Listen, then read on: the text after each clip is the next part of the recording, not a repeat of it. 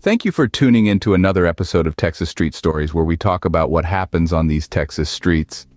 On today's episode, we will be talking the fall of the Tri-City Bombers, founded in Pharr, San Juan, and Alamo in the 1980s, has grown to have members across the country. This organized gang follows specific rules and regulations known as Las Reglas to ensure loyalty and participation in criminal activity. The TCB has a decision-making hierarchy, including a person in charge in each city, as well as positions within the organization such as president, generals, captains, lieutenants, sergeants, soldiers, and prospects. Non-members who do business with or work for the TCB are referred to as associates. TCB membership is for life, and many members have tattoos representing their allegiance to the gang. TCB members pay monthly fees to support incarcerated members and further the illegal activities of the gang. What was once a petty street gang has evolved into a dangerous organization with the guidance of the Texas Syndicate. With the help of an ex-member of the Tri-City Bombers who witnessed betrayal, lies, deceit, murder, and greed firsthand, we aim to shed light on these organizations. Innocent victims lose their lives due to the greed of these organizations. We will see that while these organizations preach loyalty and brotherhood, loyalty is not reciprocated. The ex-member had been a loyal member since his teenage years, on his way to becoming a high-ranking member. He was a moneymaker for the organization, known for getting things done. He had proven his loyalty time and time again, taking his oath to the Tri-City Bombers seriously. However, he witnessed firsthand the disloyalty within the organization. When Tri-City Bombers member Robert Bones Garza was fighting for his life on death row, a suicide mission ordered by a higher-ranking member named Jesus Carlos Rodriguez, other members were having children with Garza's wife. Rodriguez had ordered the hit on two women in 2002, who had testified as witnesses against him in a shooting incident in 2001. Rodriguez was sentenced to 20 years in prison for this offense. During his time in prison, Rodriguez ordered a hit on the two women, Nora Rodriguez and Mercedes Quintero, who worked at a nightclub in Donna. Rodriguez had already been sentenced for the crime, so there was no point in silencing the victims. He simply wanted to prove a point. In this video, we aim to expose the truth behind these organizations and the devastating consequences they have on innocent lives. X started to witness the betrayal firsthand when Ricky Bocanegra, a colonel in the Tri-City Bombers, was moving cocaine to Chicago with his cousin that lived over there. Everyone knew Ricky for his beautiful customized car, a beautiful candy apple red Honda Civic with custom wheels. He would also use his custom car to transport large amounts of cocaine to the Chicago area with the help of his cousin that was from Chicago. He was known for having the purest uncut cocaine. He would prefer to sell quality over quantity, creating a long line of loyal customers. He was known to sell eight balls on the street for half the price of his competitors. Ricky was also a small business owner. He had a drive-through beer store and on the same street he had a smoke shop. Ricky was also a pillar in his neighborhood. He would look out for the youngsters when they need supplies he would provide in his neighborhood. Ricky was loved by his community. But not everyone was happy with Ricky. The local police department had raided his business numerous times but to no success. He was under the watchful eyes of the law, but he did not expect his brothers would be the ones to take him out. His so-called brothers were watching how Ricky was becoming successful in his ventures. They were not happy with him paying his fees to the organization. They wanted it all for themselves, and they seen Ricky had built something that they wanted for themselves. So on January 26, 2009, Joe Lee decided it was time to take what Ricky had. He was planning to make it look like a robbery gone bad. That day at the smoke shop, his wife was outside smoking a cigarette while she was pregnant. That's when she noticed a masked robber that was holding up the store. A big fat ass called Biggie, a prospect under Joe Lee, strapped with 9mm, was there to protect Ricky and his family. Was outside in his car and not paying attention. He was not able to fire a shot at the robbery suspect as he was tending to Ricky's wife as the robber shot her on his way out of the store. She survived from her wounds. All along, while the hit was taking place, Joe Lee was parked across the street in a black 2003 Impala making sure the hit went as planned. With Ricky out the way, Joe Lee and his crew were able to open up their own legitimate business. They were also able to keep all his drug connections as well. When he ex saw what they did to Ricky that was loved by his community, he started to have doubts but he continued to function. X knew what he had signed up for so he continued to follow orders and generate money for the organization.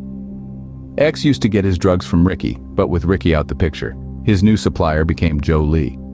Just like with Ricky, the higher rank started to take notice that X was moving large amounts and was making a decent amount of money. X loyalties made him blind to the unseen danger that laid ahead. He was following orders making money for the organization he was doing his part for the organization. So he did not think he was bad in the organization, but the greed of the higher ranks. They made the decision that it was X's time to go. So a month later after Ricky's death, X's was at a party. Were he was talking and making plans with a local girl that was known to him and his brothers for that night when he was ambushed and stabbed over 10 times and beaten to, where he lost consciousness. When X awoke from his attack, he was handcuffed to the medical bed. He was being charged with possession of a controlled substances, but once X started to think he knew it was a hit for him, he had recognized one of the attacker's voice. He knew it was a power play to keep what he had billed same story as Ricky. Not only did X survive his attack, he was told to take the charge. Even through, he was attacked his remained loyal. He was told by his brothers that if he did not fall into the Tri-City Bombers tank in the county jail, he would be dropped. X's blind loyalty caused to fall into the Tri-City Bombers tank, where he received a disciplinary actions and was told to hand over all drug connections to his fellow brothers. X continued to function, even though the organization had did him dirty, he continued to represent. Until one day, he got a visit from a producer from Gangland. X was asked if would like to participate in the show. This was the perfect time for X to leave the Tri-City Bombers. He went to visit and never returned to the Tri-City Bombers tank. X felt it was the right thing to do. He had been loyal to the Tri-City Bombers. After dropping out of the Tri-City Bombers, he was sentenced to federal time where he was able to function as solo person. They did not recognize the Tri-City Bombers as family, only a street gang. He was able to function as a solo for his remaining time. X would see other Tri-City Bombers join prison gangs like the PRM. Those member would have to cover or crack any tattoos affiliated with their previous gang. X was able to use the money from his interview to start a new life. Once he was released, he moved and got his CDL where he provide for his family and lives in an undisclosed location for fear of retaliation. He still has green light for his cooperation in the documentary of Gangland. He never told on anyone he has good paperwork. A few months later after X attack, on October 2009, a innocent mom named Erica Reyes was murdered that was in a relationship with a higher-ranking member, Jeffrey Dragon Juarez, was a higher-ranking member that found out his wife was cheating on him maybe with a rival. A man burst into Erica Reyes' Alamo apartment about 8 p.m. Saturday and fired several gunshots into her chest and face, killing her. With the help of Sheriff Lupe Trevino, the case was made like a gang murder. But the truth was Jeffrey Dragon Juarez could not take her cheating on him, plus she knew too much about his criminal activities. Purported Tri-City Bombers gang leader Jeffrey Dragon Juarez told police he saw the man shoot the 28-year-old woman at their home in the Oak Square apartment complex that night, with their baby girl by his side. An innocent mom lost her life because Jeffrey Dragon Juarez couldn't take Erica cheating on him that she had to go. She was just in the way, just like Ricky and X. X-member also witnessed the police corruption of Lupe Trevino. Lupe Trevino, the sheriff of Hidalgo County, was for the take. He would fabricate evidence to his liking to close cases. He would solve gang hits just by saying it was a love triangle gone bad. But in reality, it was a paid hit. It worked out for Lupe Trevino, and the shooter case closed, and the shooter would get a lesser sentence. Lupe Trevino had a lot to play in the violence of Hidalgo County. We he choose to become a criminal. The streets were no longer safe. Yes, working with the cops had its benefits, but it also exposed them to the federal government. In 2011, this indictment represents our continued cooperative commitment to infiltrating and dismantling violent gangs who victimize our communities through random acts of violence, firearm violations, and drug distribution, said U.S. Attorney Moreno. Gang activity represents a major organized crime threat, and we will continue to work hand in hand with our federal, state, and local partners to disrupt their operations.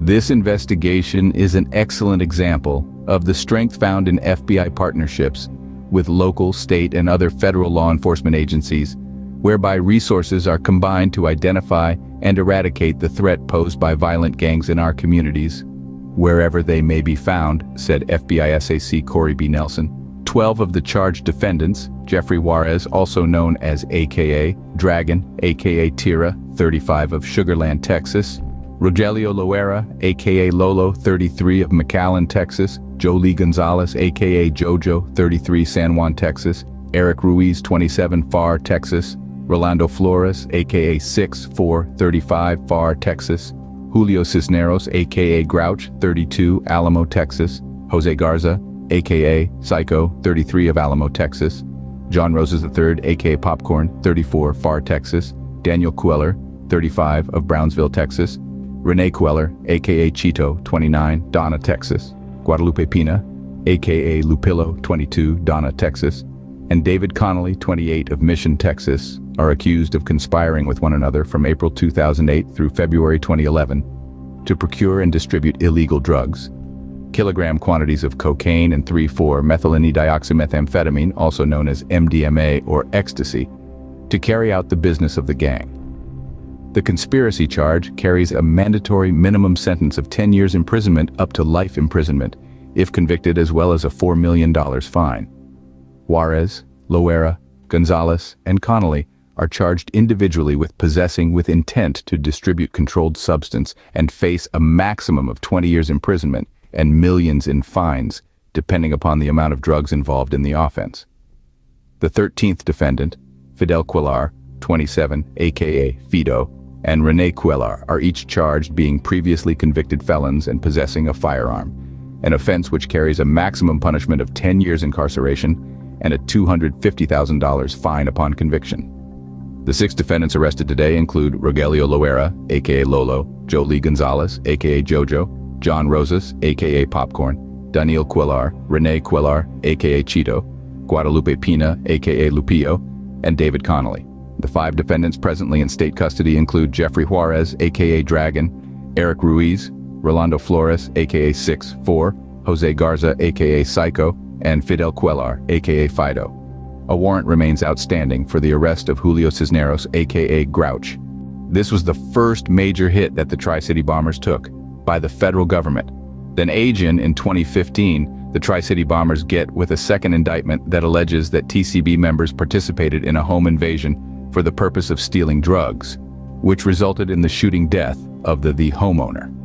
The 19 defendants charged for their alleged roles in the RICO conspiracy are Mike Bueno, aka Mocho 45, of Edinburg, Alamo, Texas, Eduardo Hernandez, aka Lepo 36 of Donna, Texas, Arturo Ramirez Jr., aka China 41 of Weslaco, San Juan, Texas, Jose Rolando Gonzalez, aka Raleigh 38 of Alton, Texas, Ernesto Alonso Ruiz, aka Galito, 38 of Raymondville, Texas, Hippolito Gonzalez, aka Polly, 34 of Mission, Texas, Israel Gonzalez, aka Rayo, 34 of Pharr, Texas, Rolando Cruz, aka Party, 45 of Edinburg, Mission, Texas, Jesus Silva, aka Bola, 42 of San Juan, Texas, Luis Antonio Saldivar, aka Flaco, 25 of Mission, Texas, Octavio Muniz, aka Tavo, 40 of Pharr, Edinburg, Texas, Joseph Alberto Lopez, 33 of Donna, Texas.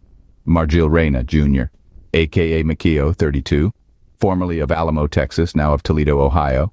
Joshua Omar Santillan, 35 of Donna, Texas. Roberto Cortez, a.k.a. Robe, 35 of Pharr San Juan, Texas. Rene Vela, a.k.a. Gordo, 47 of Edinburg, McAllen, Texas.